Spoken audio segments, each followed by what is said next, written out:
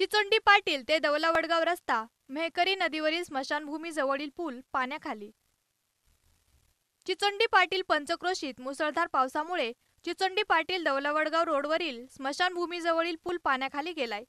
तरी या रस्त्यावर शेतकरी आणि ग्रामस्थांनी पुलावरील पाणी कमी होईपर्यंत येऊ जाऊ नये आणि विनाकारण पाण्यामध्ये गाड्या घालण्याचं धाडस करू नये असं आवाहन शरदभाऊ पवार अध्यक्ष नगर श्रीगोंदा विधानसभा मतदारसंघ राष्ट्रवादी काँग्रेस पार्टी यांनी केले.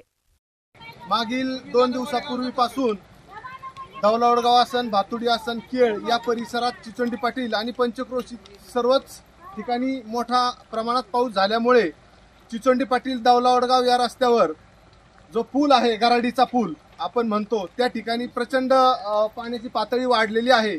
आज सुद्धा आत्ताच एक तासाभरापूर्वी खूप पाऊस झाल्यामुळं या पुलावरती खूप पाणी आलेलं आहे. तरी आपल्या चिचोंडे पाटील पंचक्रोशीतील व बाराव रस्ता असेल दावलावडगाव रस्ता असेल या भागातील सर्व शेतकऱ्यांना विनंती आहे आपण या ठिकाणाहून जाऊ नये. पाण्याची पातळी वाढत आहे.